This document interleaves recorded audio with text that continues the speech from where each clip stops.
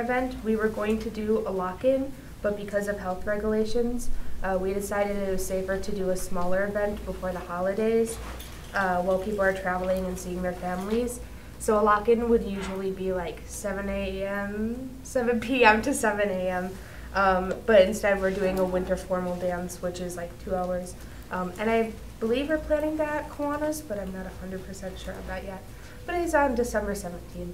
It's going to be fun. Um, and then there was also a financial aid meeting a couple weeks back uh, that was helping the seniors plan for their future. Uh, we had a speaker who walked through the FAFSA form, which if you've if you've seen it, it's definitely a little bit confusing.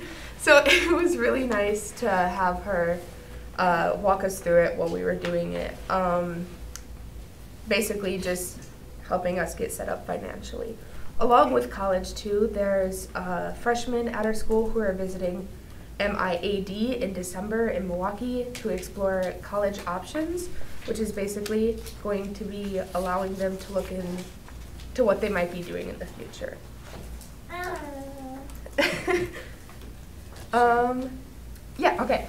Then in school, uh, we recently this year introduced interdisciplinary classes. Um, so we have U.S. history and folk music, which is uh, social studies and music, and then a small place, which is English and dance, and then cells, which is science and drama, and microplastics, which is science and engineering. Um, these classes definitely encourage more uh, complex projects and offer more collaboration with a very diverse set of peers. There's, I know in some of my classes there's freshmen mixed with juniors and sophomores and seniors. It's really nice to connect with all those ages. Um, but for example, um, in U.S. History and Folk Music, which is the class I'm in, uh, we're learning about the music behind the colonial times while also learning about the history of Native, sorry, Native Americans. Uh, so it's really cool to have that art and academic kind of tied in together. Um, and then other than that, uh, clubs. We have a lot of student-led clubs. Uh, we have Glee Club, GSA, Chess, uh, FTC, which is the robotics club. Um, again, they're mostly student-led, uh, so students will take their passions and share them with the peers in like a form of club. So I know my friend Dakota, she is always singing in the hallway, and so being able to see her kind of take her big passion of singing and turn it into a glee club was really nice to see. Um, and then spirit days. Uh, we have spirit days at Etude. I make them. Um, they're bi-weekly on Thursdays, um, and it's really fun to dress up in weird, wacky outfits and definitely expresses fun, creative ideas through those outfits. Um, we do have pictures of some of those spirit days on the A2 Think Tank uh, Instagram account, which I also do. Um, so definitely go check that out. And we have some other things on that account. It's really fun. But overall, our school is very nice and welcoming, and everyone's so nice and great. Yep. Thank you. Excellent. Yeah. Question for Lily? Continue. Thank you for your presentation. Um, So MIAD is the Milwaukee um, Institute of Institute for Arts Arts and Designs, correct. So how many people are looking to go into that, that college? You don't know? I'm not 100% sure on that. I'm sorry. No, no, no, that's fine. So what are your passions? What are, what are you looking for after Um, college? Or excuse me, high school? Yes, I'm in college. Uh, no, I'm in high school. Uh, after high school, I definitely I want to go to college um, and study English and um, education. Try to be a English teacher. Um, yeah, I like I really re- like writing, so that I think that would be my biggest passion. Nice. Yeah, You have the personality, personality and the heart for that, so go after it. thank you.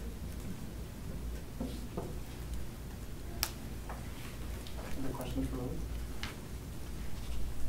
Thank you. Autumn? So my name is Autumn Sears and I'm a junior at Central High School. This is my first year in Sheboygan. I previously went to Sussex Hamilton High School in Waukesha County, so this was a super big change for me and my school is a lot smaller than the one that I was previously going to, which was like I think upwards of 2,000 kids and I've downsized to Two hundred. 200, yeah. um, which was a super big change, but I was already planning on going into an alternative school, which would have been smaller, um, because it, my learning style fits a lot better with that than the strict style of Hamilton. And at this school, I have been able to build a lot more friendships and new relationships and bonds with teachers than I thought I was going to be able to because I loved most of my previous teachers and I've been in that district for 15 years, as well as my siblings, so I already knew the teachers before I got to the high school. But at Central High, I've been allotted a lot of new opportunities that I wasn't open to or had been had even seen before. Um, for example, YTY, which is Youth Tutoring Youth, and that program allows students to get real classroom time and experience from the viewpoint of the teacher. I would love to go into education. It's something I've been planning to do for the past two years now. Um, I had an experience um, in a special education classroom in which I was the TA, and I'd never been happier in my entire life. So I decided that that was going to be my career path. And so far, my classroom has definitely helped further that dream, um, and I am very excited for the future. And as well, and in addition to that, I am going to be going to LTC for um, early childhood development. I'm taking a guiding children's behaviors class because I'm already in a classroom with young children, and I would like to have more of a background in what exactly to do or how to handle a situation the best. And as far as Central goes, I am being given a wide variety of electives, such as a yoga course, something that is also a passion of mine that I got to experience at the beginning of this year. And I found that that class helped me to further a habit of mine in starting my day with something that I find relaxing, and it also got me into a more mindful mindset for the rest of this year. And at Central High School, our counselor, Andrea Berlin, is one of the greatest resources that us as students that we have available. She is a fantastic listener and she will do anything in her power to get you somewhere that will be best for your learning, um, to help you succeed in school and life. Andrea also gives students the opportunity to be in classes that are beneficial specifically to them and their academic plan. I think that overall Central High School staff are very open and they move to make students succeed in school and to make school relevant in their life. Um, and I am looking forward to any new programs and opportunities that I continue to discover at Central. And as I watch my new class of 2023 grow into themselves and see what they end up doing.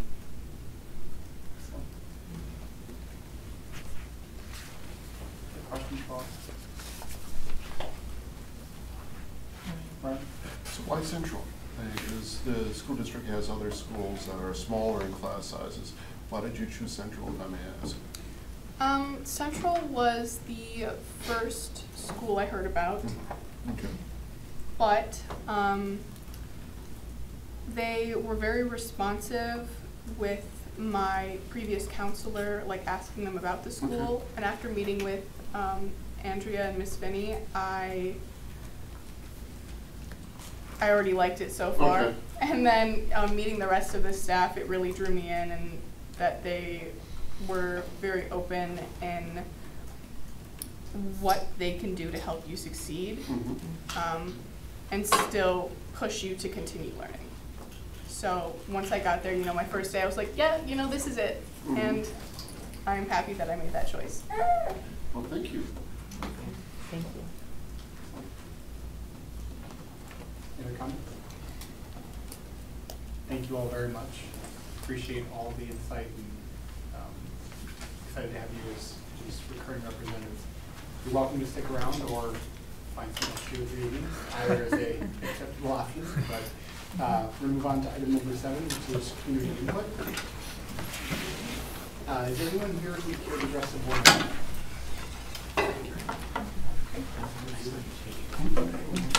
So, welcome to this meeting of the Sheboygan Area School District Board of Education. We're pleased that you're interested in educational issues. You're interested in your comments and concerns about the school district. In order for the meeting to flow smoothly, we would appreciate the following guidelines be followed by anyone wishing to address the board this evening. Please limit comments or suggestions to three minutes or less because we do have a full agenda to follow. Comments and suggestions on the school district are welcome. Personal criticism and or derogatory remarks directed at members of the Board of Education or employees of the school district are out of order. If you wish to provide input and would like to be recognized, please raise your hand. After being recognized, please stand and clearly state and spell your name and address for the record. Also, for the record, please sign your name and address on the clipboard after you've spoken. The board normally receives citizen input and does not respond. If there's a need for an answer or response to a concern or issue, the superintendent or one of the administrative staff members will get back to you within the next week. Come on up. You certainly can. Okay. Hey guys, um, I'm Tracy Alley forty-six twenty-seven West Rannigan Drive in Sheboygan, five three zero eight three. Um, I just have a concern that I want, I wasn't sure if any of you saw the email that I put out last week. Um, actually, I put it out to our principal at Horace Mann and cued you guys in on some survey that the DPI puts out. Apparently, it's every two years. I'm new to this, so I'm just finding this stuff out, and I was not happy that I didn't get the opt-out option, because our principal forgot to send it out. He apologized, we smoothed it over, it's, it is what it is now. Um, but he did send me a link to a copy of the survey that these kids are taking. And, but before he sent that to me, my son took me to his um, Chromebook and pulled it up for me. And we went through the whole thing. And there are some disturbing questions that these 11 year olds are being asked, um, such as um, regarding their, like asking these kids, like, what is your sex? Leave blank if neither. Then when you leave it blank, it goes to, how would you describe your sex? or asking them if they'd have sexual intercourse. An 11 year old? Are you kidding me? This is like, my blood boiled. I'm not happy, and I want to know this from my research on the DPI website. It says high schools are supposed to get these. I want to know when middle school got brought into it. I want to know if there's funding involved.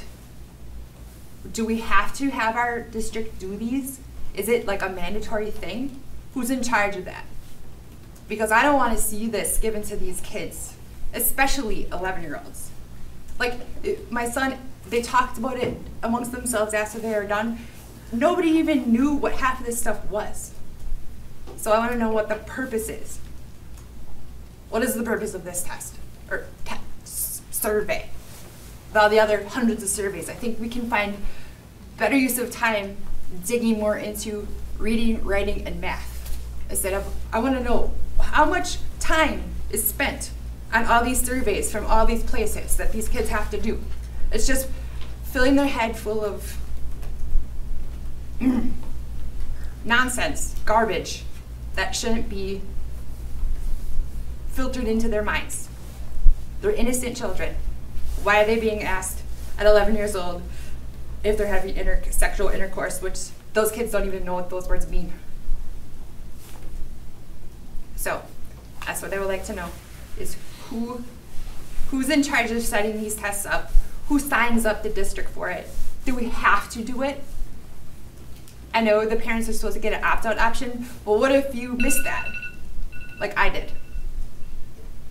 And now here my 11 year old took this stupid survey, tainting his mind with all this garbage. Sorry. So that's what I would do it. Thank you. Tracy, Yeah. thank you. Thank you. Is there anyone else here tonight who care to address the board?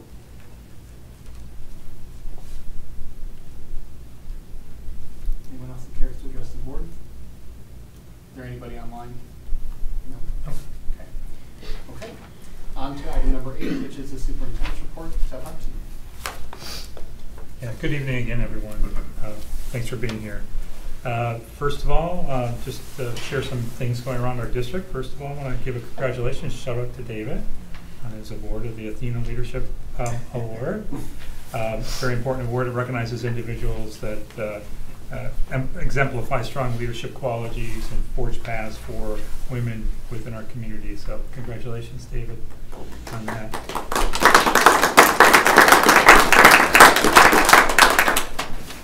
On November 11th, for Veterans Day, we were uh, able to host our annual Veterans Day celebration at North High this year. Had a great turnout of, of community members, uh, veterans. Um, It's always a, a great uh, event between the speakers um, and the, the band, uh, orchestra, and choir.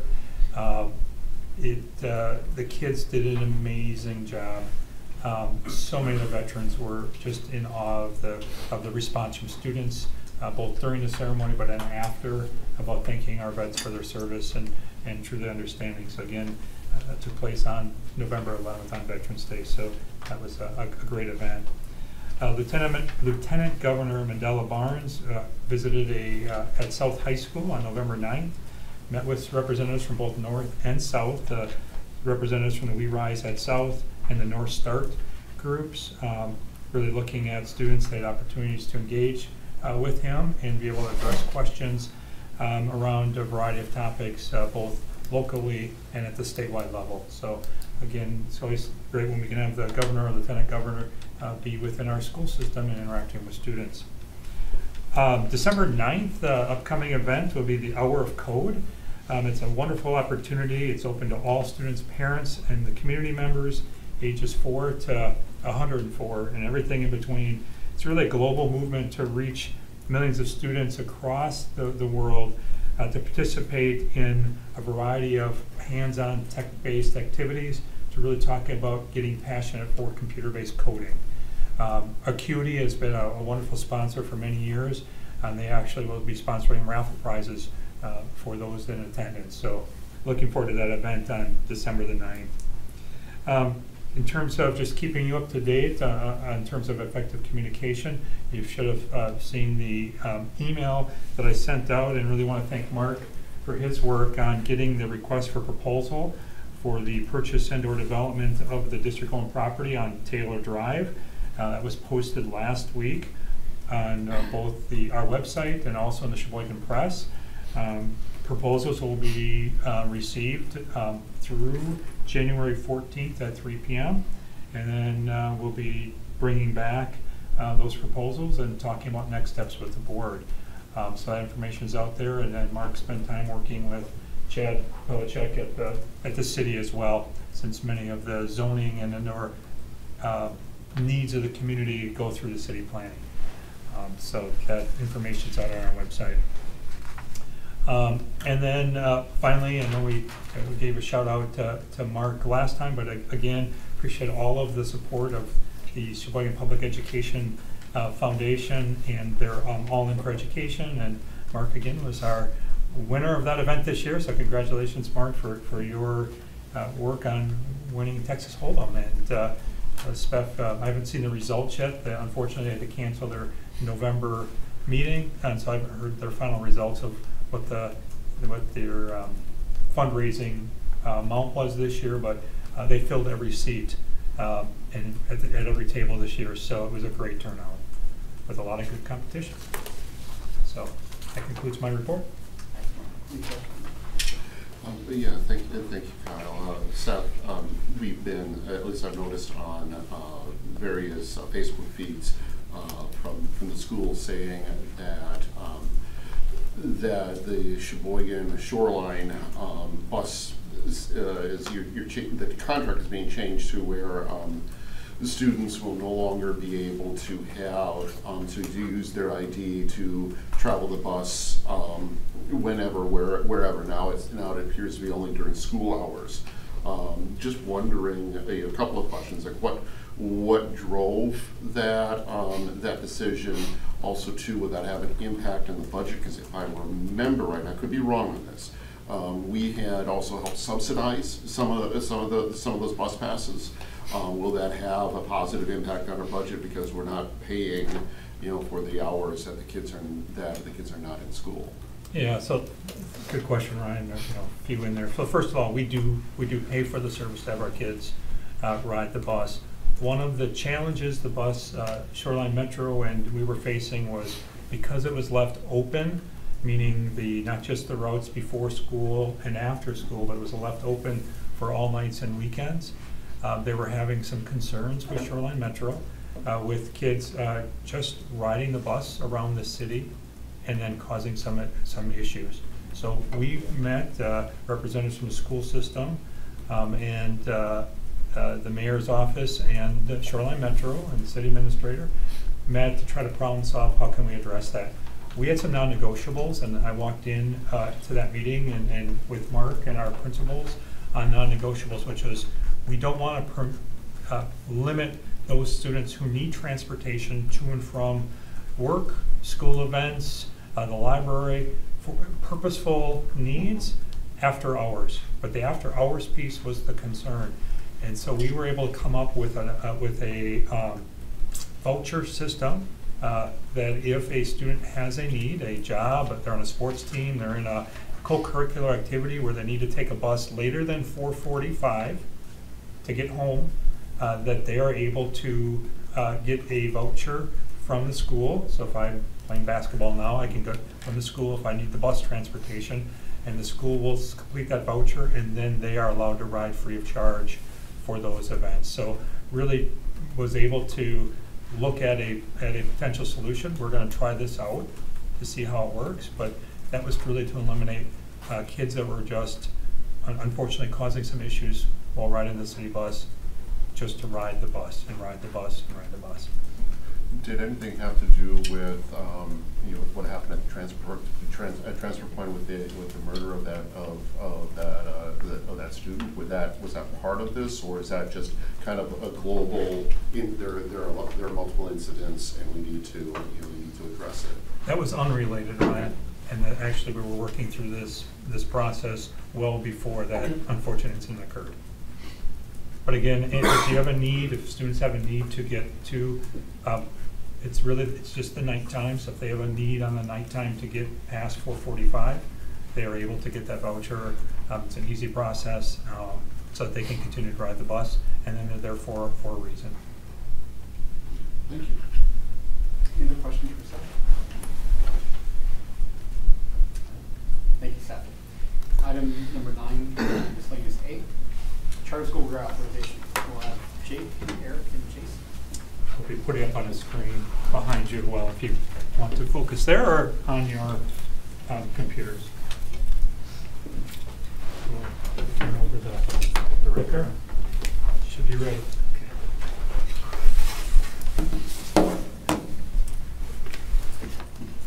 Go ahead.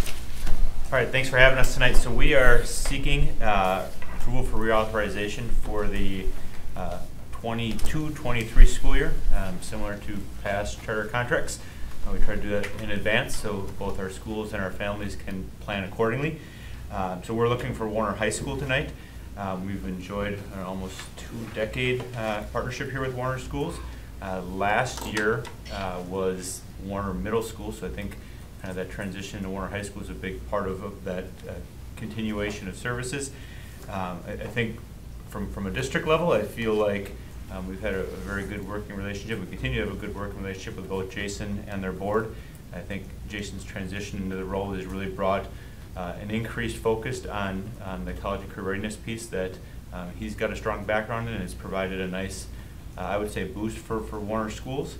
Um, I think I had some things that I was going through my head of, of things to highlight, and I think when I listened to Jason talk at the beginning of our meeting tonight, he summarized things much better than I ever could in terms of um, the importance of, of having options within our district and a, school where, where kids feel at home.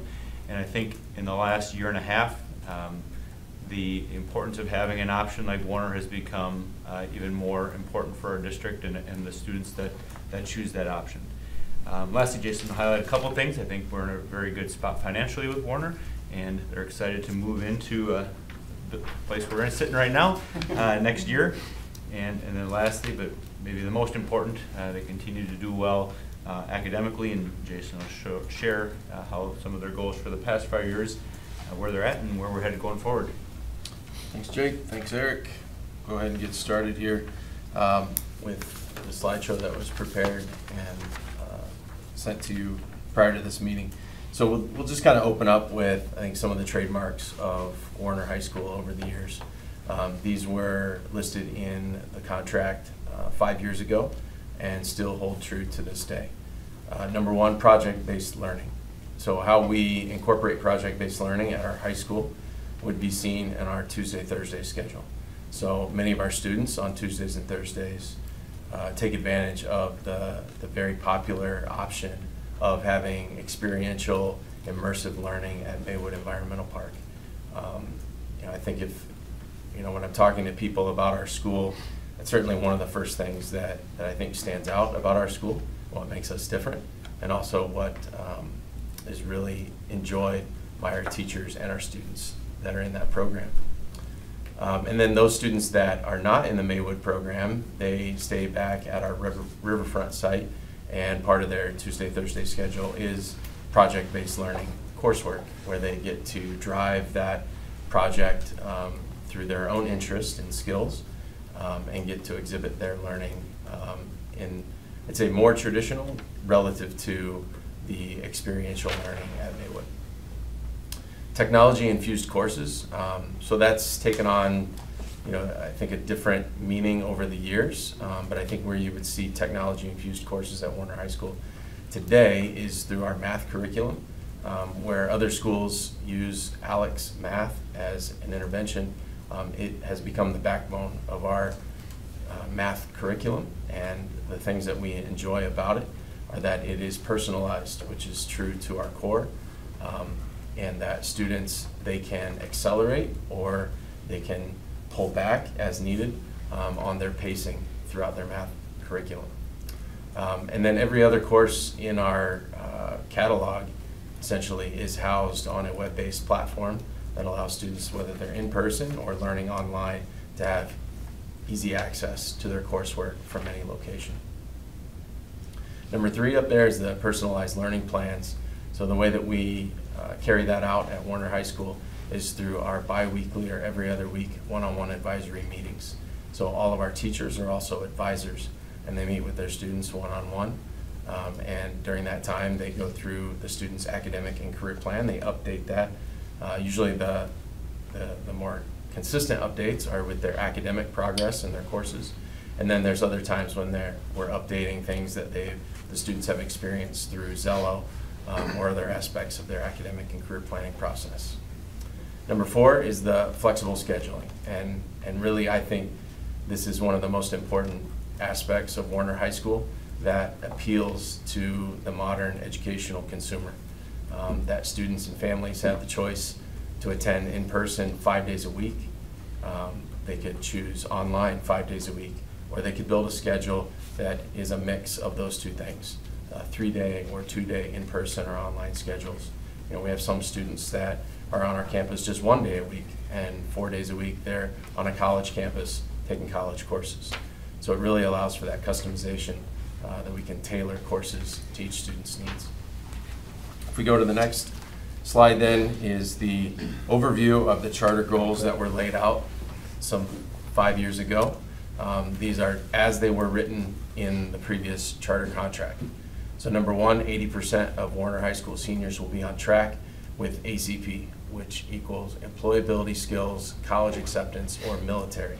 Now, I, I wrote this as it was in the charter contract. However, since that time, the district, of course, we've adopted the college and career readiness report card that we use. And so we've been able to really, I think, better define what is college and career readiness since uh, five years ago. Um, so I'd encourage you to pay less attention to if it says goal partially met or met. Um, I'll go through that uh, very shortly. Number two, community connections. 80% of Warriner High School seniors will connect with the community through college and career readiness and or project-based learning. Number three, ACT Aspire Warriner High School students will meet or exceed the SASD average on the ACT Aspire, which is the uh, state test that we uh, administer to ninth and 10th grade students. And then the ACT, um, the Big Kahuna, that's the one for our juniors. So our goal is to meet or exceed the SASD average for our juniors on that test. So now take a little deeper look at each one of those goals over the last five years. So I've broken down on uh, these next two slides that you have, really both go with goal number one, separated out the career readiness from the college readiness. So you can see there that over the last five years, we have, um, we have met or exceeded the 80% benchmark for career readiness. Um, Now note, 2018, there isn't district data. That was the year prior to the building of the district college and career readiness report card, so we didn't have that district data. However, we, we were able to go through student by student. Fortunately, we only had about 30 students in that class, as we normally do, um, and we were able to, to find that data. Um, And then the next slide. I also jump in there, just, I just want to also point out the fact that, so 2022 is our current year, and that's obviously a work in progress. It's not necessarily a decline. We've got kids uh, still finishing up community service hours, credits, and uh, Yep. dual credit courses, etc. Yeah, thanks, Eric, for stopping me on that. It's a really good point. I would say that 2022, both on this year and you'll see in the next year, I project that we will hit that 80% benchmark. Um, But like Eric said, we, when this was prepared, we only had a quarter of this year under our belt. Um, And a lot of that stuff happens over the totality of the full year or four-year experience. The next one is the college readiness data. And again, 2018 didn't have the district data, but um, we did for the following years. And you can see there, although we did not hit the 80% benchmark, I think it's important to note that that trend from 2019 and going forward. And what I see is a, a very realistic scenario that in 2022, this current senior class, that we will hit that 80% benchmark for our college uh, bound seniors. Um, So trending in the right direction, and um, out of the last, this year and then the previous two years exceeding the district uh, numbers on college readiness. So we can go to the next one. So then this one aligns with goal two for the community connections. Now what we had to do on this one really was to uh, look at the college, or excuse me, the career readiness data in our college and career readiness report card. So we define that based on work-based learning, 25 hours of community service, or a college credit course. So each of those years, and then again, like Eric noted earlier, 2022, um, I fully anticipate that we'll reach that 80% mark for community connections as it, as it is defined there. The next slide is the ACT Aspire numbers. So um, you can see on that chart, uh, the ACT Aspire tests students in the areas of English, English language arts, uh, math, reading, science, and writing. However, there, there were uh, no writing tests included in those tests during the years uh, that we're looking at. Um, So we exceeded the district average in 14 out of 14 uh, opportunities there um, in all of those curricular areas for ninth grade. If we go to 10th grade, um, we hit that 12 out of 14 times, 86% of the time. We exceeded the district average for our 10th grade state assessment. Uh, The only two occasions where we did not was in 2018 on the English test and in 2021 with the reading test. So that's for the 10th graders. If we go to the 11th grade, this we, we noted as uh, partially met, and I think the reason why we, we said partially met is because even though we hit it 21 out of 24 times, 88% of the time, we thought seeing a, a cluster of not exceeding the district average in math, thought that was worth noting. And also a point where, you know, to your question, Mark, an area that we're trying to improve is in the area of math. So that's where I think you can see that. Um, also of note is um, after the 2019 class is when we uh, started using ALEKS Math as our primary piece of curriculum. So we'll go on to the next one. So now that leads us to uh, going forward. Uh, So our five-year goals, starting next year, and then the, the next four after that.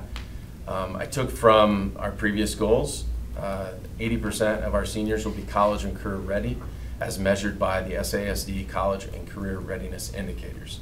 So I just kind of updated the language from five years ago, made sure that it aligns with our district language, and then I kind of coupled that with the community connections goal, which really is just, it's really another career readiness indicator. Um, and then the second and third goal is the ACT Aspire. And then of note, um, it's my understanding that it's possible that the state could be moving away from that. So in these next five years, if it's not called the ACT Aspire, we would take that to mean the state standardized test for ninth and 10th grade students. And then the third is the, the ACT benchmark that will meet or exceed the SASD average. Finally, uh, yep, question mark. I mean, I know that this reflects the previous contract, but the uh, eighty percent mark is a little bit concerning. Maybe Jake can speak to that on the part of the district, but, I mean, we're kind of saying it's okay that twenty percent of our seniors are graduating and they're not ready to go on to college or to go into a career path. And that's kind of concerning. I mean, that's, that's a lot of kids, you know, twenty out of hundred kids Yeah. that aren't ready. And I mean, and that's what our whole purpose is here, is to have them reach that as a senior. Point well I taken. mean, I, I guess I'm, Yeah, why, why eighty percent? Why not hundred percent, right? well, and I know, you know, and I know it- it's gonna, it- you know, I, I know it might not be able to achieve hundred percent, but, Yeah. I mean, it's kind of like we're expecting to get a, a low B here to begin with. Right. Yeah, so I guess one aspect of it, I mean, these seem like um, pretty clear-cut, you know, numbers, right, with the mark. Um, One thing that does complicate it is that it is driven by student choice, right? So if I, as a student, uh, go through high school and I say, I, I intend to go to college, well, then that's gonna factor into that college readiness mark, even though that student's day-to-day actions probably, you know, may not speak to that college path.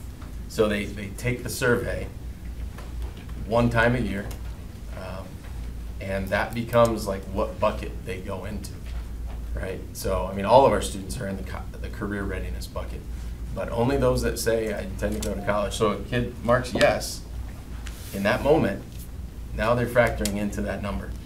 Um, so it, it can, it can slip on you a little bit when you're, if you're not careful, because you go through each student, you say, well, you know, every day they've said, you know, I plan to go uh, to, on a different path, right? But in that survey, they said, I'm going to college." So I guess, are we saying that we're trying to achieve eighty percent of the dual goal of college and career readiness, or the combined goal? of- I ha- I haven't had it separated in there.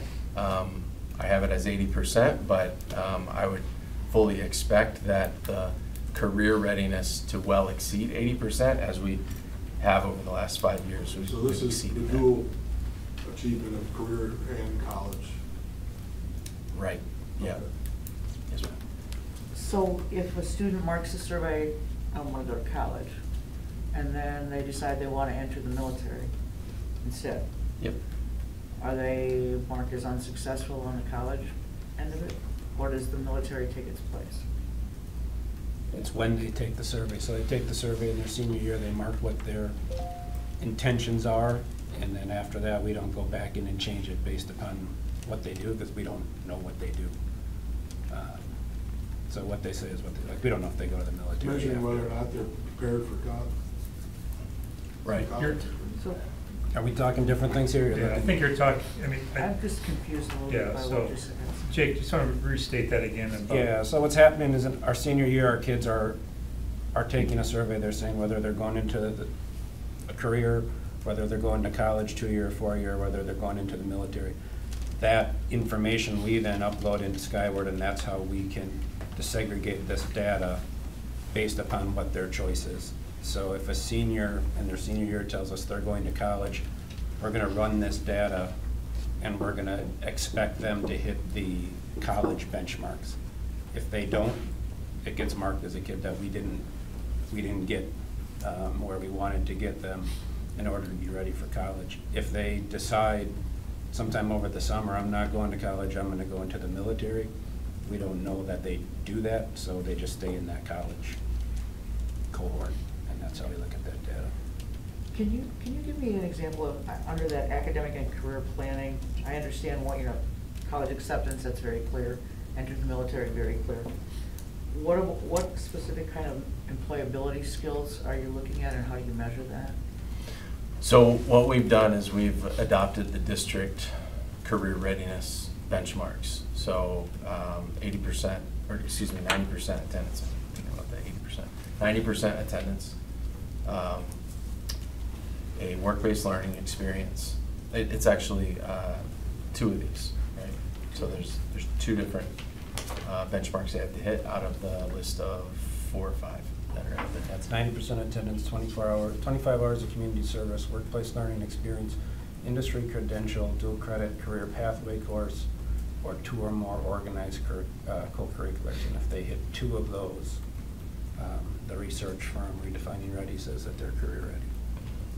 And I, how did, how did those expectations get conveyed to the kids and how often are they reminded of that or encouraged in areas that they may not be there right now?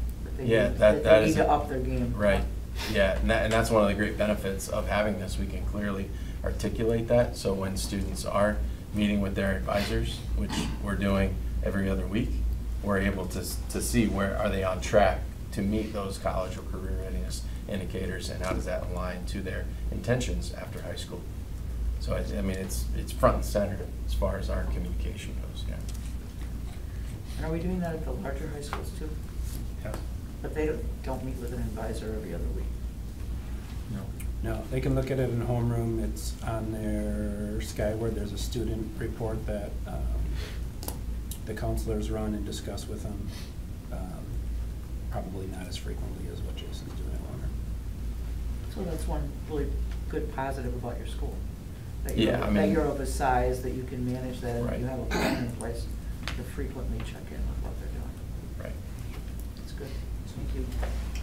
Yes, sir. Thank you. Um, with those individuals that are not college ready, are they being, are they being followed up with by counselor to figure out what their path in life will be, to hopefully help assist, navigate them through, like vocational school, or some other type of training, because someone might stick in a family business. Uh, there's a lot of other things that's happening, but are we following up with them to ensure that they're not, as he's saying, being lost in the data? Yeah, I mean, the, the bulk of that work is, is being done intensively with those students in that, those biweekly meetings, and then as they become seniors at our school, uh, all of our seniors take a course called College and Career Readiness. And that is taught by our school counselor, so they have that a couple of times a week. So, I mean, they're going through that in depth and getting that personal uh, advising uh, through our school counselor, but the bulk of that work happens up till graduation, and then, um, you know, we even, you know, this, and this is not just a Warriner program, this is a district program, but we have a, um, a summer texting program that we've implemented over the last, uh, two years, where we, um, provide supports for students making that transition from high school to college, to kind of alleviate that, that summer melt. And then we've taken it a step further for students that are pursuing uh, careers um, or the military, whatever their post-secondary path is. Um, They're getting targeted text messages to support them in that path so that they can get to that next step. Because we, what the research shows is that, you know, you, you lose a lot of kids, whether it be in college or maybe they intend to go into the military, but something happens, right, and they don't reach that destination. So I think that, that's that little added step that we as a district have implemented for our graduating seniors. Thank you.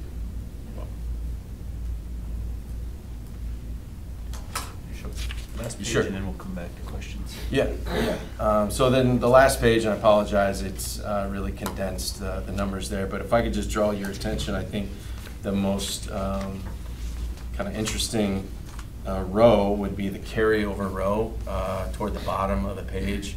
And you can see um, that uh, dark bolded vertical line, that's like uh, present, or I guess that would be at the conclusion of our current contract, and then going forward from right to left, which I realize now is backwards to how we read everything in life, so I apologize. Um, so, but the carryover row is toward the bottom. Um, And if you look where we are right now, our carryover stands at five hundred and sixty-six thousand, two hundred and seventy-one dollars combined between our middle school and our high school. And I understand that we're just looking at the high school today, but the high school itself um, stands at three hundred and fifty-four thousand, three hundred and thirteen dollars per carryover.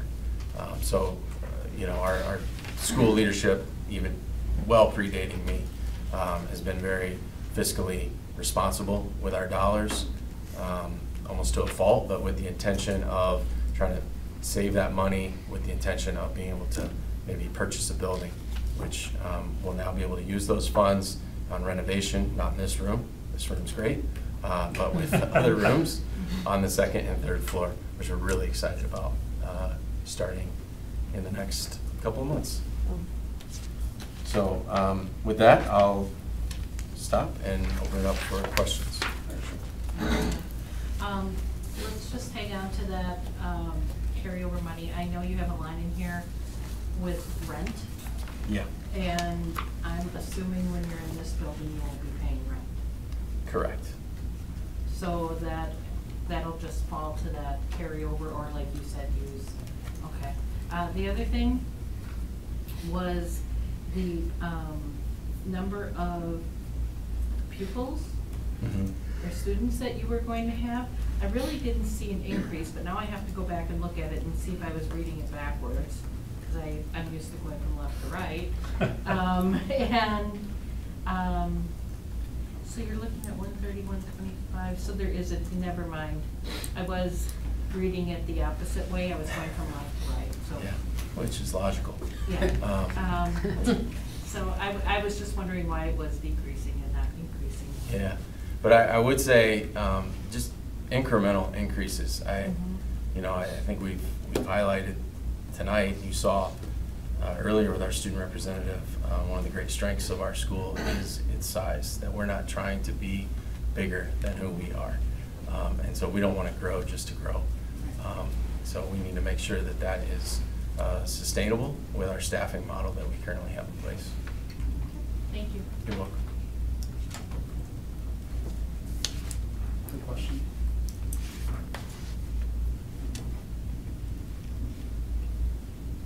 Make a motion that we approve extension of the contract uh, for five years through the 2026, 27 school year. Second. Second. Moving and seconded. Any further discussion? Hearing none, all those in favor say aye. Aye. Any opposed? Congratulations. Thank you. Miscellaneous item lady is the state report cards.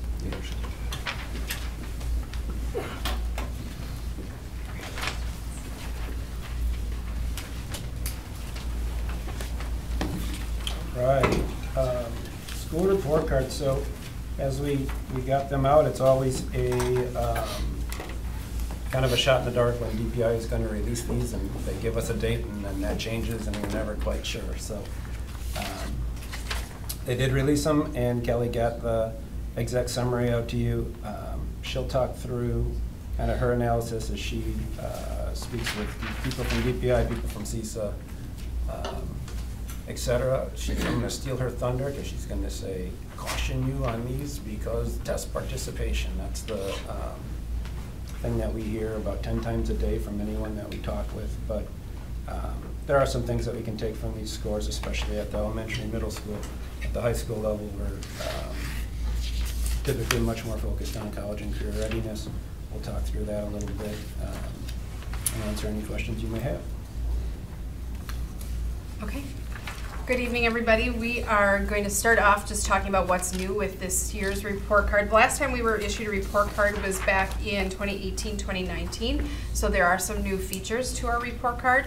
We'll take a look at our district report card, then move on to our individual school report cards, just looking at um, where they fall um, in the categories. Um, then we're going to talk a little bit about um, new to our report card, the course and program data, and that ties really nicely, dovetails into our college and career readiness report card that our district um, has been using for some time, and I would dare say um, was ahead of the game um, looking at um, the benchmarks that would meet criteria for our students to be considered college and career ready. So uh, to start with what's new, first of all, as Jake said, right there, in the first bullet talks a little bit about the caution we should use. Recall that the Sheboygan Area School District, um, just on average for all of our testable grade levels, was at about 20% of our students not testing, um, likely for a variety of reasons, many of them uh, COVID related, uh, as far as choosing not to come in for assessments and things like that. So just caution when looking at that, that we had um, about 80% of our students participate, unlike usual years where we're at 95 to 98% of our students participating. Kim? Yes. Can I just ask a quick question? Can you just set the stage for us? Now, this is COVID Yes. related. Our students are learning from home, a hybrid.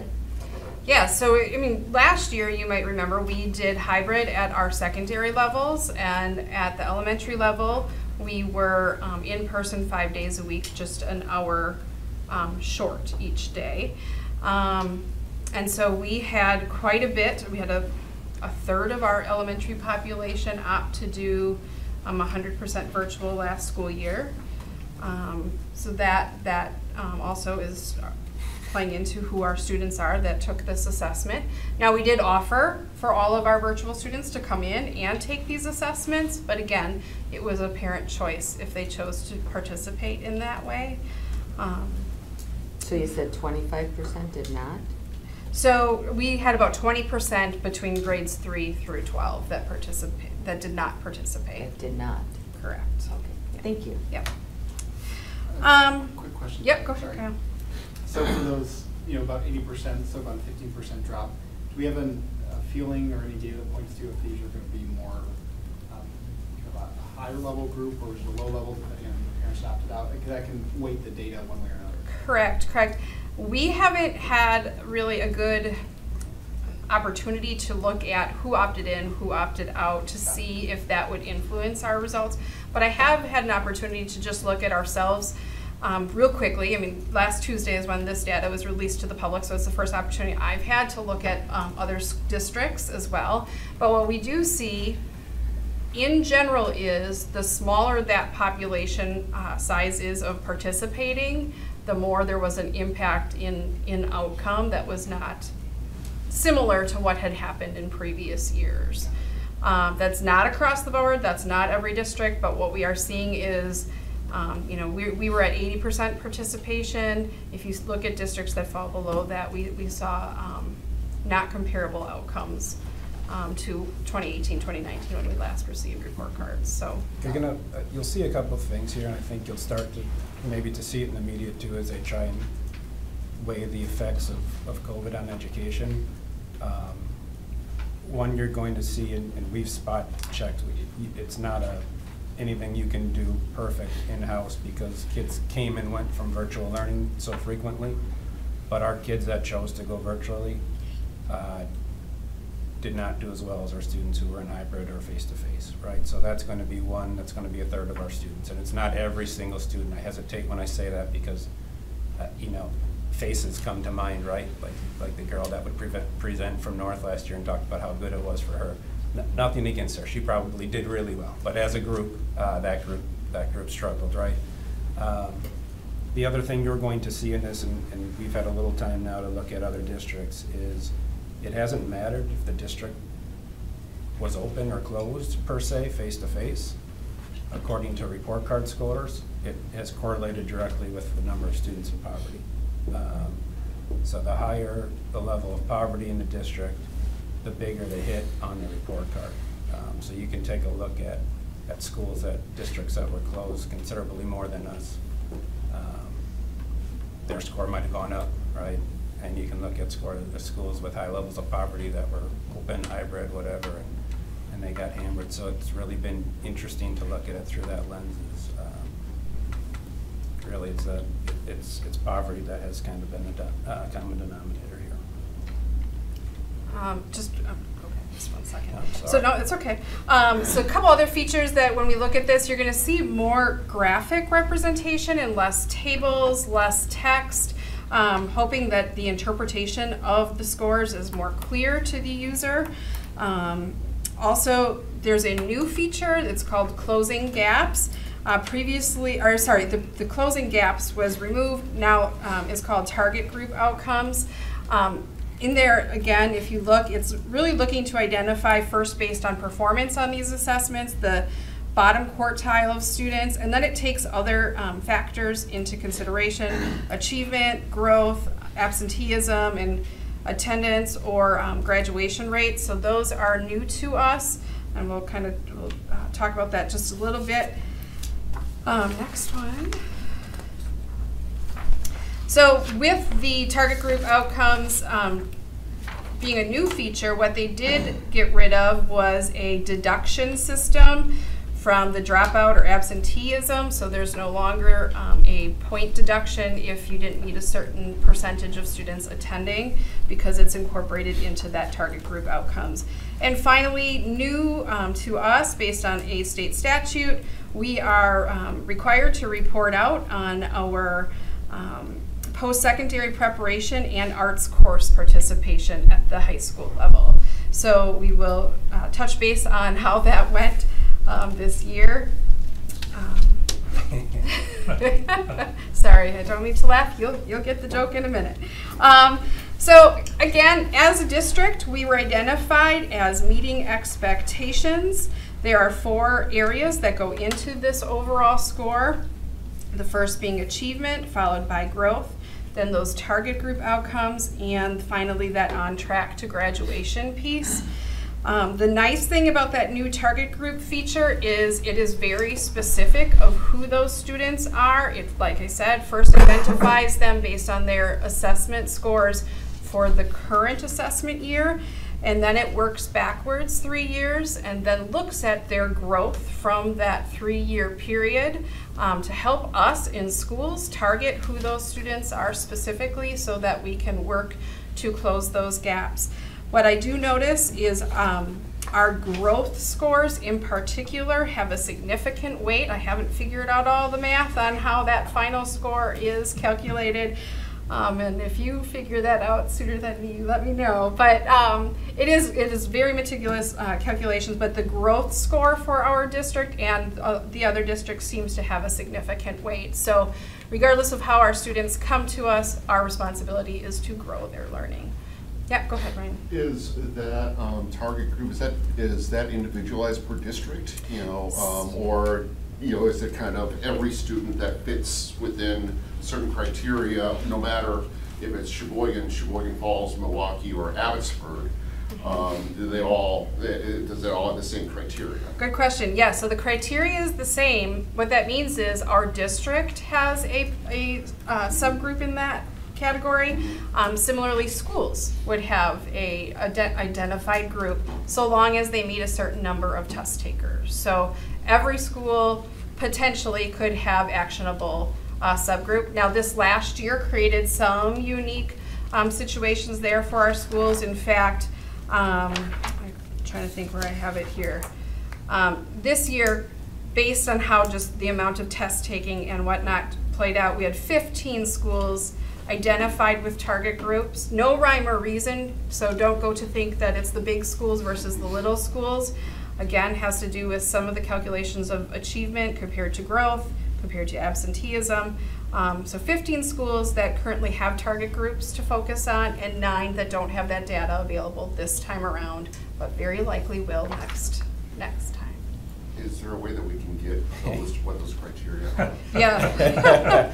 No. Oh. Oh, now they're laughing. Like, I think we're, I, I don't know, I feel bad, I'm just gonna say it straight. This is, this report card is a mess, right? So we come here and we try to make sense of it to you. The target groups, we don't know what they are, we don't know who's in them, it changes. Really? Um, it used to be very, like, straightforward as far as you had ethnic target groups, you had special ed, you had EL, right? Now it looks like they're putting them together, uh, if you don't have enough, so you'd, you'd have to have like twenty in a, in a grade level, right? So now it looks like they're gonna combine special ed with EL, but when they say it in their literature, they're really careful about how they phrase that. Um, so we're not, you know, Kelly emails and tries to get answers from DPI, but it's not perfectly clear. The growth stuff, we've been working on, Seth when did we hear from Value Added? That was probably 2011, 2012? Yeah, ten years ago that we went and listened to VARC talk and, and that's the group that does it out of Madison and value added is great, but they can't explain their formula to you. Um, So it's like art, you know, when we, when we see it. yeah, but what's really scary about that is you start having conversations with them about, okay, you can't explain your formula to us, but tell us what it means and how we get growth. Mhm. And you can't, you can't get a good answer. Um, And I think you see a school like North High this year drop, and they drop because of growth, and I look at John and I don't, we don't know what to tell them. I don't know what to tell them to improve on, I don't know what to tell them to work on. Um, And, and they can't figure it out either. Uh, And the other thing that they just flat out admitted to us when we started questioning them is like, so there's a difference, right, in the expected growth of a school or a teacher if they have one special ed kid in their class versus if they have twenty-five, or if they have eighty-five percent free and reduced versus two percent free and reduced. Uh, Our formula can't take that into account. Um, So it, it really, it's a difficult I I situation. think, so so you've got Kelly and and Jake and, and team trying to digest this, as Jake said, to try to put this to you. And we laughed earlier when you asked, can you calculate, hand calculate all this? The, the, the, and thank goodness we've got strong, strong people, but you cannot follow their formulas enough to be able to get to the raw numbers, to be able to say, let's go ahead and hand calculate it. That the math and the formulas are, are at such a high level, and they don't make sense. So it's difficult to reverse engineer. You, you cannot go back and say, okay, here's the kids we had before us. Let's hand calculate to see if, are there errors in here, are there not? What is, you know, what happens if we had this group of kids perform better? Or what would happen if? You, you can't do that hands, hand work. Yeah, so you really worry, and you'll see it at the end, you know, you really worry about their data upload. Just like, okay, your formula is fine, we'll, we'll trust that that's good, but do you at least have the right data for the right kids and the right codes and, you know, so there, there's just a lot of guesswork here. Can we just get the raw data? And, I mean, I know Jake and Kelly, you guys are really great analytical people. You can make some conclusions based on, Yeah, we, I think we do that with the college and career readiness report card. yeah, there you go. We're already doing it basically. Uh, And, and that, again, as a board, that's what really led you as a, as a group, uh, as a whole. Some of you I know weren't on the board at that time, but really said, we have this state measure, but what really do we value here? And how do we track that data internally to create the SASD Career and College Readiness Report Card? Right. that we know what the data is going in, we know who those kids are, we know how it is calculated. We can look and develop appropriate goals off of that in a much different area. Now, with that said, obviously, there's this level of accountability that we've got to be able to respond to. You need as a board to understand to the best of your ability through us of what this, what this means. But it, it really is that focus on what our SASD career college readiness is and how do we ensure that we are making progress and setting goals to get to where we've talked already tonight. How do we have hundred percent of our kids reaching those goals? How do we give pushback to DPI? I mean, this is ridiculous that you guys, I mean, I'm sure you do, I'm sure you all do, but I mean, is there something we can do to, to help push that or get other school boards? Because this is ridiculous, the amount of time you are spending trying to analyze where we could show them our career and um, uh, college and College. career readiness, and it's crystal clear, and it's easy for the layperson to understand what goes into those numbers. I mean, this is stuff that just irritates me. How do we change the work, you know? And that's uh, a discussion we have as state superintendents. Uh, We we have discussions with our lawmakers. Um, Some of this is coming from federal law in terms of you need to have a a defined system, a statewide report card. And then it, like many things, it's how do you take something that is across all the United States and try to say what makes sense for Wisconsin? And then, in that case, how do you take the four hundred and twenty-two school districts and try to make heads or tails out of that information you know, into a, into a report card. So I guess that first point is, is just really that caution that comes in, in terms of how do we interpret and what, what can we really draw from the data? And again, and Kelly, I don't want to steal your thunder, uh, again, but you're gonna end up, the bulk of this, yes, it's this graduation rate, and yes, there's some of those career and college readiness indicators, but the bulk of the scores you're seeing are really based on the state test. And that formula around your achievement to growth, and depending on your level of poverty, that the weight of how much is on achievement and how much is on growth really can change. So, uh, some of our county school districts have had high achievement, but their growth scores have been non-existent. And they can get a score, or somebody else can get a high score and have tremendous growth and very limited, you know, overall achievement, because that, it's a variable weighted system. Um, and then you try to play that out across our district, but then each of our schools, because we have a different level of poverty across our buildings in terms of those students that qualify for free or reduced lunch, the number of EL, number of special ed, all of those factors play into that as well. And so then I think you gotta take some generalities around that notion of how are we doing in comparison with some of those subpopulations compared to other school districts, when you look at the district-wide data? I'm sorry, I didn't mean to steal your, Good. both of your thunders there. Um, Thank you. Okay. Okay. I, I taught English for a reason. You know, this just, this whole thing just really fries my brain. But if I'm looking at this correctly, where it says economically disadvantaged with the circle and Mhm. sixty-three point two percent, is that the percentage of our kids who are considered economically disadvantaged in the whole district? Or the kids that took the test? In the whole district. our Okay, total can you estimate a little bit what that percentage is of the kids who actually took the test? If poverty is the biggest driver, I'd say it's Relatively comparable. I would think it's relatively comparable. Similar? The other thing to remember there is if they didn't take the test, it counts against you, right? Correct. So they're all in that number, um, they're just not counting, they're just not counting for. So if, like I said, if one of those, if that twenty percent, if one of those kids passes the test, it helps our score. Um, And obviously more than, than one would. So we've, you know, I've weighted that a little bit and looked at, you know, well, we had sixty percent advanced and proficient. If all kids would have tested and we would have, you know, carried that same weight forward, we would have been at seventy-five. I'm just guessing at that because there's just no way to know how those kids would have scored. Um, so is this tied to funding at all? So Not that's really. not our issue, right? So, Well, I'm relatively new to this, is this, is this, how do we, we, we know it's flawed. That's, that's becoming very obvious to me that it's flawed. And we know that we're dealing with a really unusual year for the testing. So that creates some questions. What do you think is the benefit for our kids in this district to us spending time on this? Knowing that it's flawed and knowing that we had an anomaly for the year, what can we gain from this that's useful? And how much of this should we say, okay, we did what you asked us to do and we ended up with a fuzzy result and we're not gonna invest a lot of energy in it because we have our own indicator locally that's a better measure of what we're achieving. Yeah, I think we, I think we look at it at the elementary and middle school a little bit, um, and it's somewhat helpful, but again, the growth becomes really hard, uh, to understand. High school, we don't use it at all. Um, And elementary and middle school, we have that report card coming. It's gonna have three years' worth of data, so we'll see trends on there. Uh, We desegregate that data, it's just, we have, we have better tools. This isn't, this really isn't meant for schools, this is meant for the public.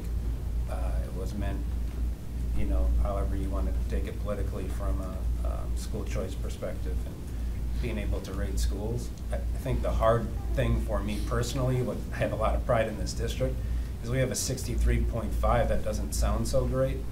There isn't another school that has a poverty level within like about ten points of us that scored that high, right? So you start working your way down on compar- comparables, and you're gonna get all the way down to Madison before you find a school that has a better score. So West Allis has got, oh, where are they?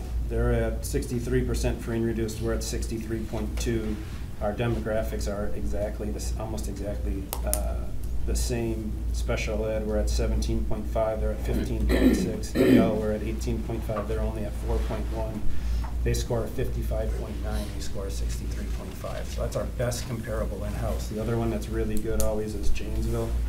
Um, sitting at, at about ninety-five hundred kids, and they're at fifty-four point seven, so they're nine points less than us, uh, free and reduced. They score a fifty-six point eight. Um, So to our comparables, we do really well, right? We're essentially the fourth poorest um, district, and, and we do really well there, but there's no way, I don't know how you say that, I don't know how I call the press and say, hey, we did really well compared to. If you caught what Jake just said, if you start looking at comparables and you look at the high poverty, we have a strong economy in Sheboygan County. But when you look at the families that we serve, of the top twenty-one largest school districts, Sheboygan has the fourth highest poverty rate of any of those. It's Milwaukee, Racine, Green Bay, Sheboygan in the state of Wisconsin for large districts. We're the ninth largest school district in the state of Wisconsin, but we do have the fourth highest poverty level. And then you factor in the other things that Jake mentioned of special ed, EL. It, it just, it, it, it helps to look at those comparables. Um, and when, so Jake was earlier talking about poverty, I just want to make sure that I highlighted that one once for you, because, um, just to catch where we fall within our large district comparables, um, on that, because that does, for the key drivers Jake's already mentioned. And I think it's, what's a little scary in, in this is when I talk with other districts our size, they're like, how'd you get the score you got? Um, I, I don't know that there's a heck of a lot of room for growth here. I, I think we're doing pretty good, but it doesn't look good, right? Like, that's where I, I really become frustrated in this and, and And that's you where it gets know where hard. it's, for me. you know, where, where you've improved, because the state says, well, Yeah, and if our poverty better. level keeps going up, is it, is realistically, is there anything we can do? And at some point, I understand coming in here and saying no excuses, all that good stuff, but I have to also look at our teachers and say, get those results. Um, And if it's not, if no one else is getting those results, it's really hard to look at our teachers and say, you know what, do something that no other district in the state is doing. Um, That's my expectation of you.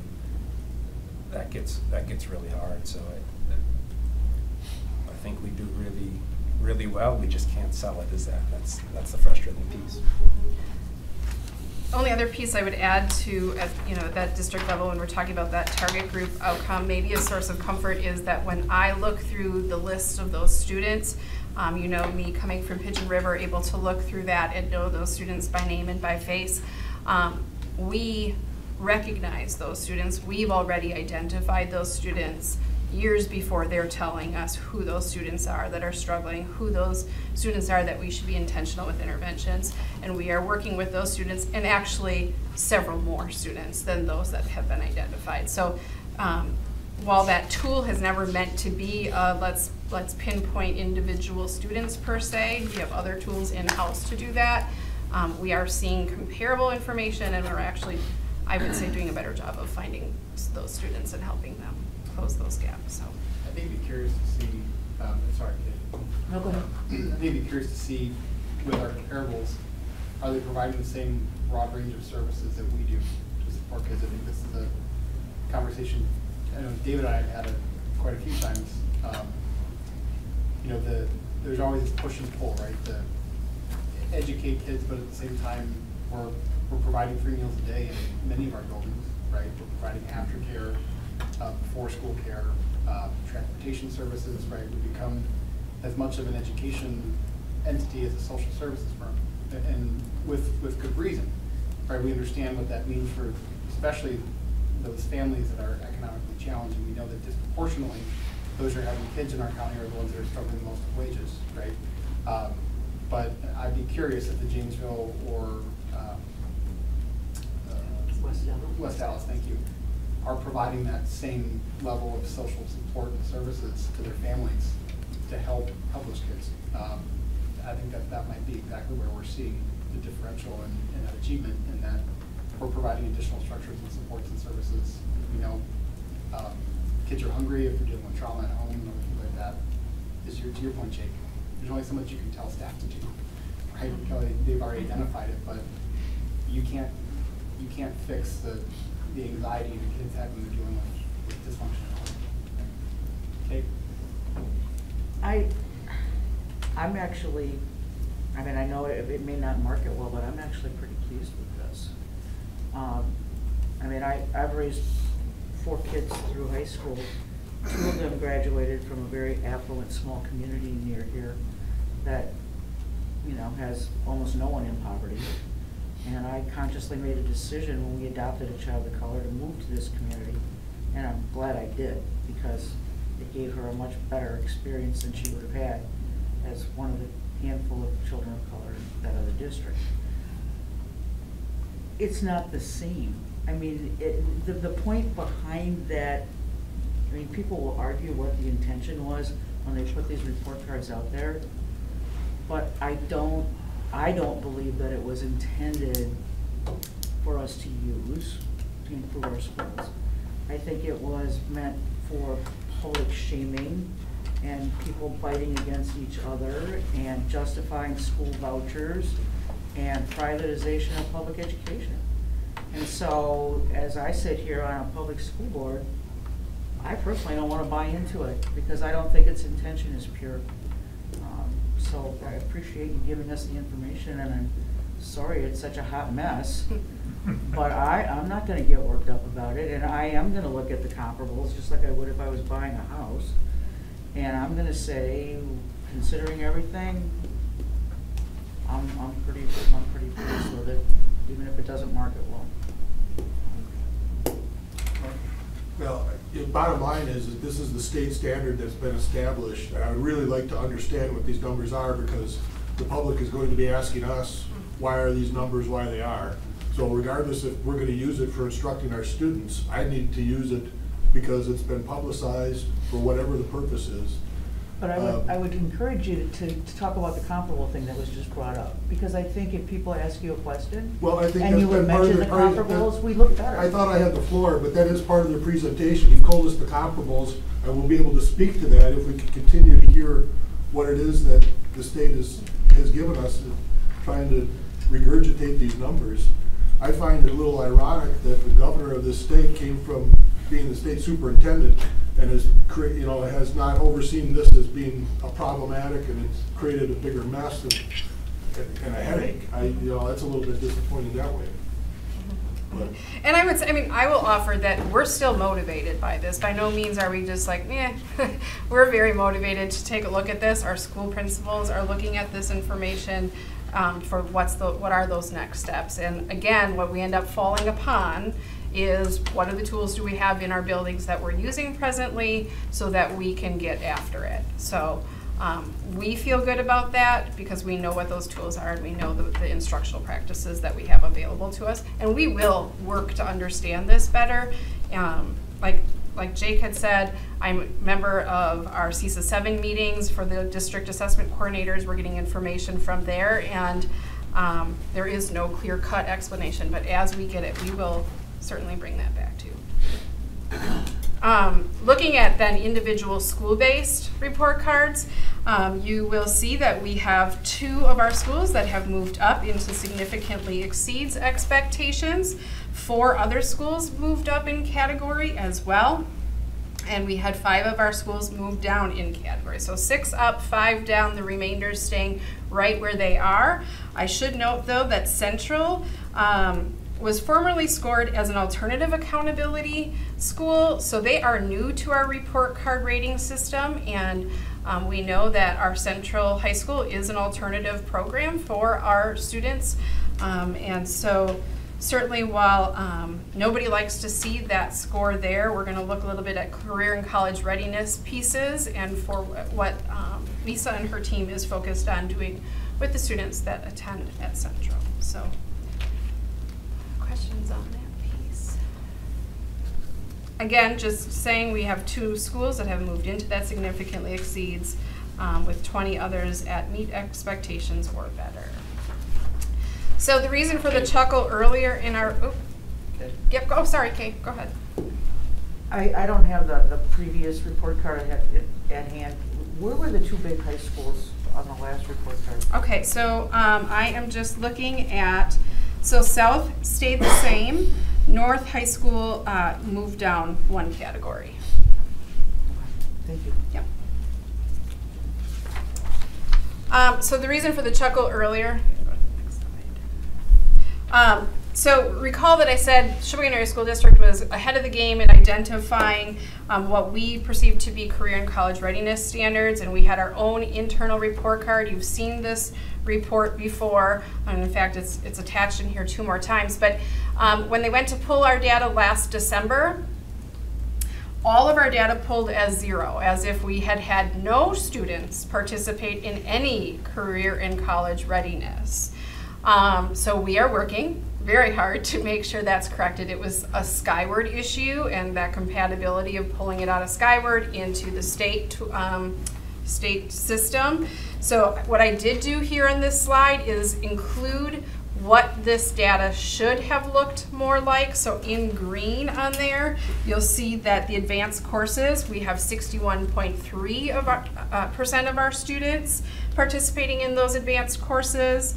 Um, 30.8 in dual enroll enrollment coursework, sorry, uh, 5.2 in industry recognized credential coursework, um, and then work-based learning at 24.9.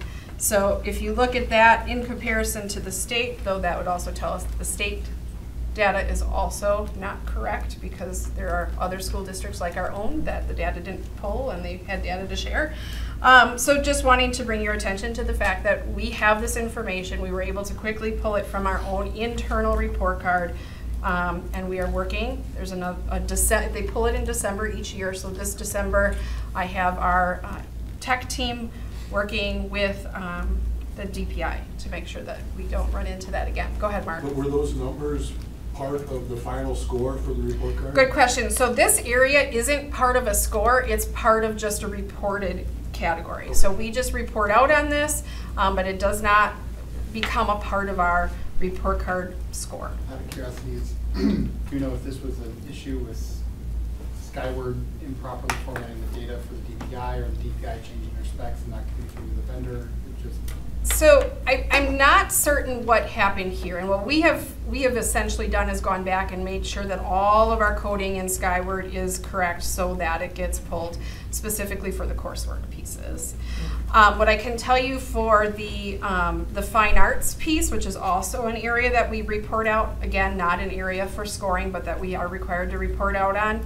Um, what we found is there was a switch from fine arts and visual arts to trying to think what it was. It was another category of arts, and we had had them slotted under one area. We read that we needed to move it, so we moved it, but this data is from 2018, 2019, or sorry, yep, 2018, 2019. So we moved it too soon, and so that was our issue with that data. So again, it was accessible to us. Um, you can click on the next slide. This, again, just telling you guys, this is where our career and college readiness Sue, data Yeah. came from. Um, Yep. Go back to the other slide, oh, this one. So is this taken from December 2019? So this data. Not last year, but the year before. Correct. Just, just simply for these two pieces that we're reporting out. So when they're pulling And our for information. attendance and. Okay, wait a minute. So Sometimes it's what- two years ago and sometimes it's a year ago, depending on the measure. So when they're putting this report card together from last year, There's they're a- pulling data from the year before. Correct. Sometimes it's from the year before, sometimes it's for two years before, depending on. And they don't tell you this? What they do. No, that we knew, that part we knew. We just had been overzealous and moved some of our coursework into a different category because we knew that the DPI was asking us to do that, but we had done it too soon. So when they pulled it, they didn't have access to the data that we No had. good deed goes unpunished. But somehow they pulled it from 19. Correct. And you said, wait a minute, you can pull it from 2020. Correct, and that's what they're gonna pull for this year. That's what they'll pull from this year, yes. So we're, we, we playing that game, but we do have that in there. Again, not a perfect thing, if you wanna click one more time. Again, Forward. yep. So if you take a look here, this is the fine arts data that we were talking about. So Again, this is this is not exact, but we were able to pull together the data what would better reflect how many students are participating in our district in arts and design courses. So 449 students at the high school level are participating in arts and design courses. 22 in 19, dance. 19? Yep. Yep. Not from the data. Correct, because the data that they wanted for, was from 19. That's a real disconnect. Yep. Because you got two different years here. One is COVID and one isn't. Correct, correct, yep. Um, twenty-two in dance, four hundred forty-one in music, and thirty-seven in theater. So we do obviously have students participating in fine arts. We just need to make sure they're coded correctly in there so that it pulls this December, so that the next report card, next school year, you will be able to see that correctly. Going on then to career and college readiness, um, report cards. Again, um, looking at those outcomes for individual student post uh, graduation self-selection. So this is looking at now last year's um, graduating class. Okay. When we look at this data, I broke it down into um, these objectives as far as what career readiness looks like and how our different um, or how our district is doing compared to how our schools are doing. So again, if you look, our district would say 78.5% of our students are career ready. You want to click just because there's a better visual representation here. Then as we look at our um, different schools, we have Central at 65.3, we have Etude at 52.2, North at 83.1, South at 75.2, and Warriner at 89.3. Again, what we're talking about is having a 90% attendance rate, having 25 hours of community service, workplace learning experiences, industrial credentials, dual cre- uh, credit career pathway courses, and two or more organized co-curricular activities um, as far as participation. So that's broken down um, a couple different ways. Keep in mind that um, COVID likely, very likely, impacted our community participation on this report card. So uh, we would hope to grow that in this more normal school year. No, I think this is the stuff that we always talk about, right? So, and, and Mark said it earlier, like if eighty, you know, if we're, shooting for eighty percent, what does that say? And I would probably argue that eighty percent is pretty good, but also there are districts that look into, should this be a requirement for graduation, or should some of these things be a requirement for graduation? And I always think that's on the, the table for discussion as well. If community service is really important to us in this district, maybe that's something we say we want all kids to do, et cetera. So, just, just something to think about for future discussions. Uh, last slide then is looking at our students that we are sending off to college. Uh, 59.1% of our students as a district are prepared to move off to college. If we look again at them by, um, by school, you can see that Central having 25% of students, Etude having 25, North having 64.5, South having 55.6, and Warriner having 62.5% of their students prepared to be successful in college based on our benchmarks of um, having a GPA of 2.8 or better, um, taking some advanced coursework, and receiving an A, B, or C in that advanced coursework. Um, those classes, like our CAP classes, our AP classes. Dual credit college coursework, um, advanced algebra two, having an A, B, or C or better. And then finally, the ACT scores as they relate to a four-year um, ACT exam of an 18 or better in English, 22 or better in reading, 23 or better in science, 22 or better in math, and similarly in, for a two-year performance of English at 18, reading at 18, science at 18, and math at 18. What percentage of our kids are enrolled in a two or four-year college? Passed? Uh, do- do- It's about sixty percent. Oh. Yeah, it's, it is and it isn't, right? So this is of the kids who said they wanted to go to college. Oh, so it's not the. Right, so, uh, and that's why this doesn't, this is fifty-nine point one, but forty-seven point eight percent of all our kids hit that, right? So this G one report where we have 47.8, 313 kids out of six fifty-five, that's all kids, um, that graduated here. Kelly pulled just the kids that said they wanted to go to two or four-year. Um, Again, that, that number's pretty decent, but it, it jives with, it, it- it almost adds credibility to the redefining ready data because we know about fifty percent of high school kids go on to college and flunk out, right? Yep. That's the, that's the national average, so when we see those numbers somewhere, but, you know, in the fifties, that, that's probably pretty accurate, and that's why we just keep hammering on this, um, stuff with our high schools. And North and South are gonna come in front of you, they're gonna give detailed, uh, explanation of their report card and what they're working on. This is what we have them set their goals on every single year, stuff. Colleges keep coming back. Marquette got rid of ACT, uh, a number of, of schools have, they keep coming back and they say it's GPA and it's the most advanced course that you pass. Those are the two uh, best indicators of college success. So that's why we push so hard for that dual credit college uh, and for the GPA. So uh, I think you'll, you'll hear that continue to be our focus for college kids.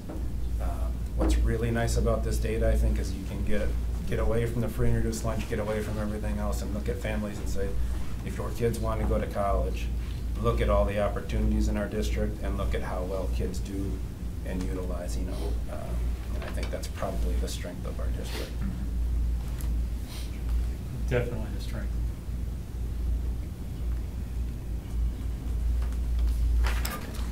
Additional questions for Jake?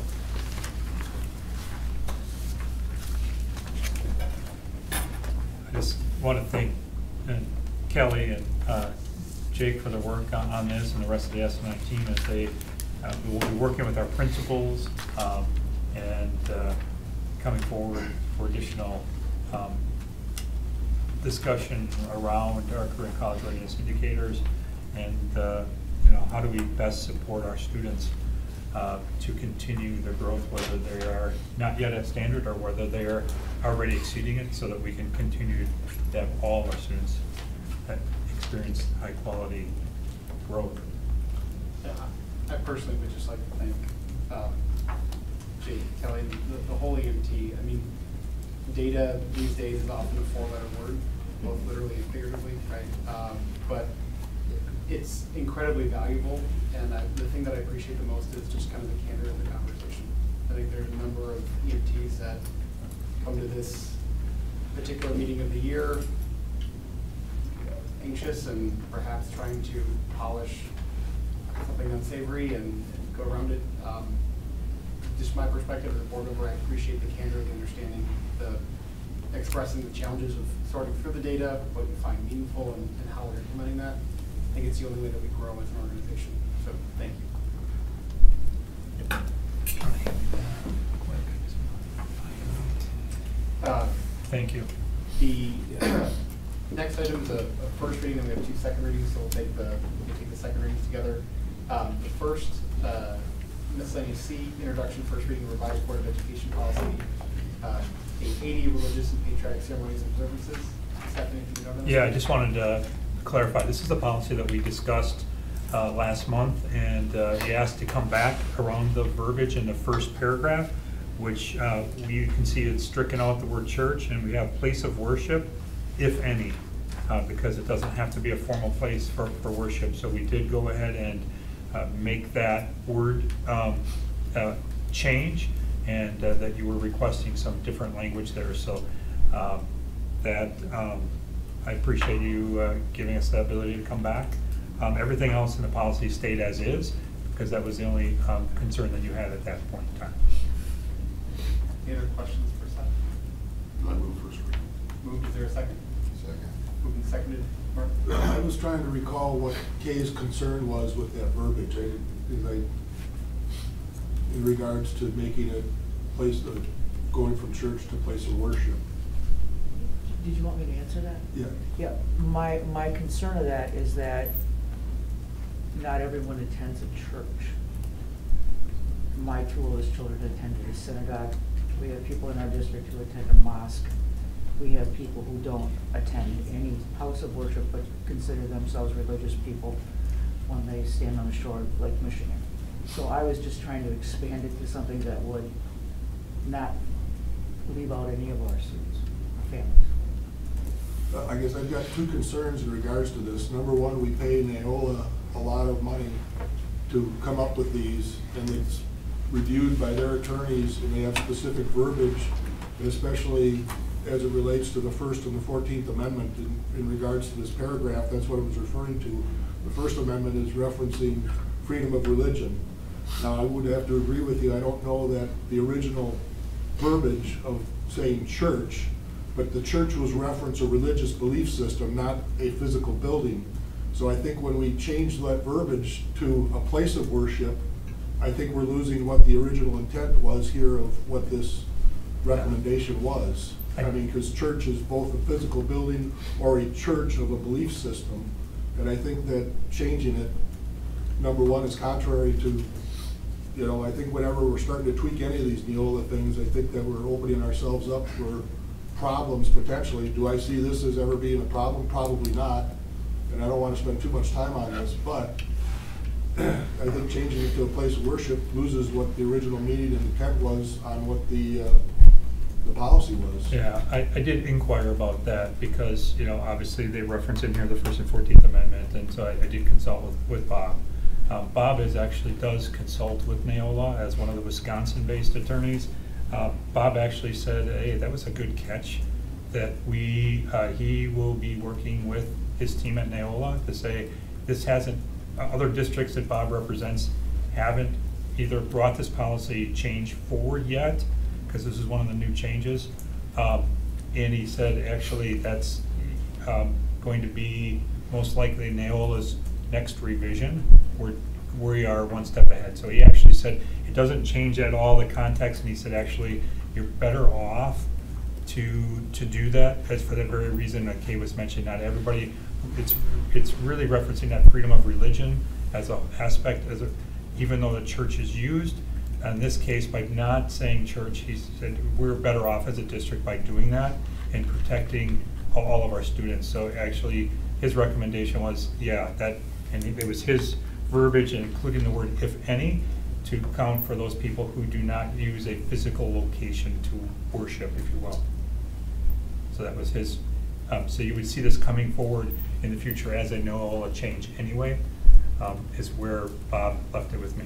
Yeah, but it's still, I mean, that change is talking about a specific location, if any, but it's referencing a religious belief system, not, not a physical location or not a physical location. Yeah, and, and Bob, when he talked through that, really said that it, it, that is, the, the intent here was to, with this notion of the word, of the church of his or her choice, most people, because you, you gotta, uh, again, read this for what most people would interpret it, and they're gonna interpret it, oh, I go to that church, that place, even though. That's not how I interpret it. Yeah. I guess that's not most people. Uh, uh, Yeah, I understand that there's gonna be different interpretations. I guess the question becomes, as a board, and you're looking at a policy as a board, how do you in- interpret that and make sure that we are representative of our, of our school, children, and our community?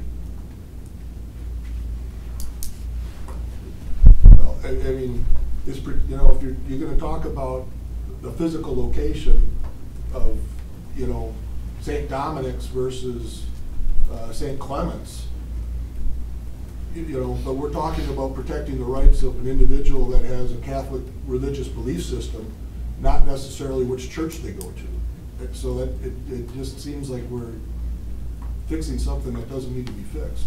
I- Now, do I agree that it should be church? Not necessarily. I think a religious belief system is what we're trying to achieve here, Hmm. but if any. Yeah.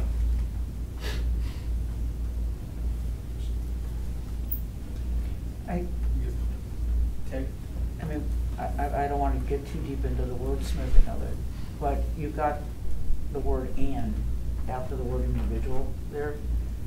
So if what you're talking about is the belief system, we could just stop with the word individual. Why do we have the "and"? I think the "and" is what takes you to the next situation, which is why I think you need something more inclusive. If you didn't have the "and," if you weren't expanding beyond the word individual, you would just stop there. Unfortunately, my computer died and I can't pull it up right now.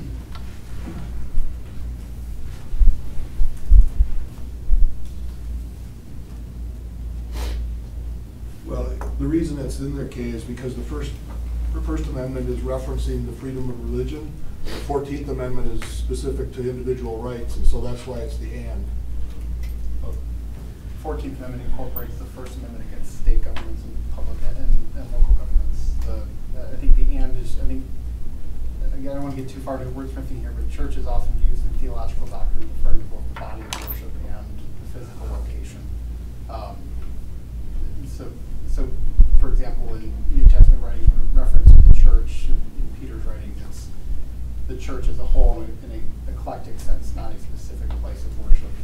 Um, at least in first century Judaism, but, um, we're getting really down the rabbit hole here. But the bottom, the Uh, bottom line here is, we're, we're, all we're saying is we're gonna protect your right if you go to a specific church, not the fact that you're a Catholic or a Lutheran or a Protestant or an atheist. And I think that's what we're trying to achieve here. Is it- Am I not correct? I, I, I, I agree, I think that Kay's, Kay's point, I agree, well taken that, the we can just use better verbiage other than church. Um, If it's, I think in referencing in terms of the, the faith system, or the belief system of the individual and their, uh, I, I, uh, I don't want to workshop on the floor, but agree, it would be more of a. Well, it should just be religion. I mean, what- that's what the First Amendment actually uses. Our attorney approved this? Yeah. Okay. I Yeah, call so- for the vote. Been moved, is there a second? Second. Any further discussion? All those in favor say aye. Aye. Any opposed? Nay. Motion carries. Uh, We'll take uh, D and E together, if there's any objections, see there's second reading. Seeking a motion to approve miscellaneous items D and E, second reading. So moved. Second. Moving second, all those in favor, say aye. Aye. Any opposed? Motion carries. Uh, Item number ten, which is report of committees. First is curriculum instruction, which is me. Uh, There is a, a- item number one, uh, is the introduction of a new course, which is pretty exciting specifically around game development. Um, So looking at new ways of getting students engaged in coding and um, engaging in that analytical uh, development schools, uh, skills, and it was really curriculum design in-house here, uh, which is pretty exciting. Um, As the chair, I'm not able to make motions, but I'm seeking a motion to approve item one. So moved. Second. Uh, Any further discussion? All in favor, say aye. Aye. Any opposed? Motion carries. Uh, Two and three are um, for information only. Um, Item B, human resources, Mark. I would move approval for item number one, appointments, and item number three, retirements that were listed in the minutes of the uh, HR committee. Second. Moved and seconded. Any further discussion? Hearing none, all those in favor say aye. Aye. Any opposed? Motion carries. Anything further? Uh, C, facilities and rec, Brian. Thank you very much, Mr. Vice President. Um, I move approval of items number one and two, both the uh, Sheboygan Theater Company financial reports and the Community Recreation Department's financial reports. Second. Moved and seconded. Uh, Any further discussion? Hearing none, all those in favor say aye. Aye. Any opposed? Motion carries. And the facility permit report is for your reading pleasure. Thank you. Uh, Finance and budget, Marcia. Thank you. I am gonna break this out a little bit. I'm gonna take, um, I'd like to, uh, make motion for items number one, two, and three for our Fund forty-one capital projects, statement of cash flow, revenues and expenditures reports as listed in our minutes. Second. Moved and second. Any discussion? We're back from audit, so we have these again. Excellent. All, all those in favor say aye. Aye. Any opposed? Motion carries. Um, I would like to move for a motion and, um, a second, and then have a little discussion about the fund balance item number five. So we have a motion, is there a second? Uh, five. Second. Moved and seconded. Marcia. Thank you. Um, I, um, just wanted to talk about our fund balance a second. I think, uh, Mark and, the um, EMT team did a great job, and I know the board has seen this before, um, but this is the final vote tonight for our fund balance. Our fund balance is about fifty-five point five million dollars, our general fund balance that is. And according to our board policy, we require that we leave an unassigned balance of between fifteen to twenty percent. Um, after, if we approve this today, our unassigned balance will be about twenty-five point seven million dollars, which equals eighteen point five percent of the general budget, which falls within our parameters. All of you have reviewed the list of items. Are there any questions that we, Mark or I can answer?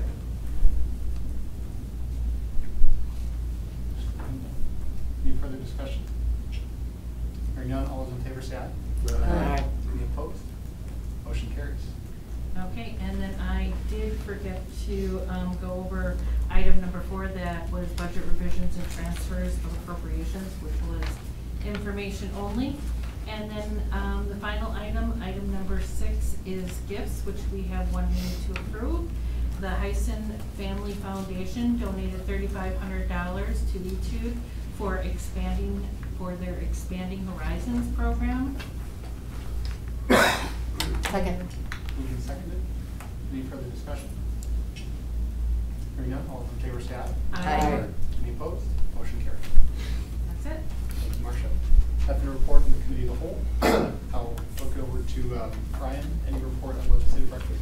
Yeah, probably the most controversial thing that was brought up during the legislative breakfast was Mark announcing to everyone in the room that he's no good with numbers. Um, But other than that, no, it was, it was a pretty, pretty quiet meeting. Um, It was And- Mark's dry sense of humor. Yeah. Um, it, it was, it was a fairly quiet meeting. Um, there's not a whole lot going on, um, with the Senate legislature, the, the Assembly, they're doing committee work. Um, we did have some discussion about, um, a proposal that has been made, um, to, uh, require school districts to have, um, education based on the history of Asian Americans in Wisconsin, which would be very similar to the, uh, the mandate that we have uh, for Native Americans. Um, and I just thought I'd mention it, as this is something that WASB is, was looking at, um, yeah, it's bring up to their, um, you know, to the delegate assembly in January. Um, I asked what, what their thought was, and, um, got little to no, no feedback as, as per usual, but, um, but yeah, that was, that was pretty much the, the main thing that I had. Seth, I don't know if you wanted to add anything or not.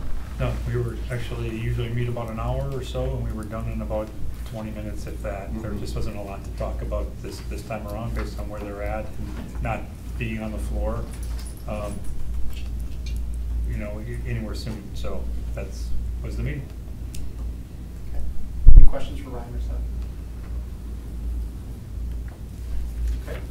Mark, anything to report the? Uh, no, just that they, they, we had a really good meeting, uh, on the fifteenth, so that committee is now starting to get kind of into the meat of the, their process. They're, they're looking at each of the objectives now and looking at how each, uh, option meets, meets that objective. And we got quite, through quite a few, uh, objectives, and, uh, we are not meeting in December. We'll meet again the, um, third Monday in January and continue, um, rating the, the different options, so we're moving along.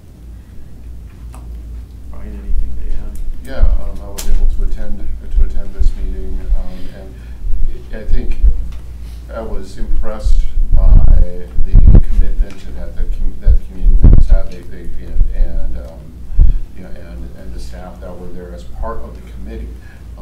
They, they've given some serious thought to this. Um, it will be interesting, you know, to see once, you know, all the rating is done and then we start talking about dollars and cents, you know, how that would affect, you know, their recommendations. Um, but, um, you know, as of right now, I don't think the, the committee is anywhere close to making it, as- making a recommendation as far as, um, building new or remodeling or somewhere, or somewhere in between for, for both middle schools.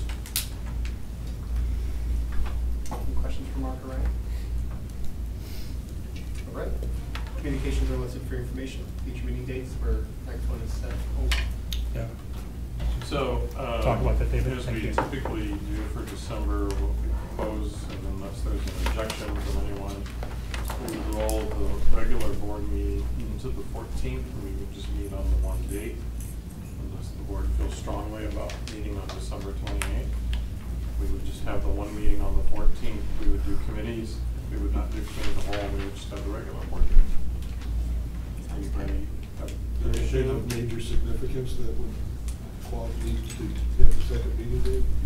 There's nothing that we No, no, need to have done by the end of the month that would cause us to have pause for that. Um, As as I've spoken with David, we can do the business we need to do it between the committees and the full board meeting. And the plan is we'd still meet here for that one meeting in That's December. correct. That's correct. Our tables are never, never land right now. Okay, so we will just have the one meeting in December on the fourteenth. It will be the regular committees, no committee of the whole, and then the regular board. Do we have to vote on that? Oh, we can. I'm not saying that we have, I just see it's I mean, I- listed for action. Unless anybody's got uh, a concern with it, I think we just say we're gonna do it. Okay. Is there still community input? Can I ask that? Sorry. Excuse me? Is there still community, would There there will be that night, sure. That night, okay. Yep. Just checking, sorry. Yep. Good question. Move to adjourn. Move to adjourn, is there a second? Second. None debatable, all those in favor say aye. Aye.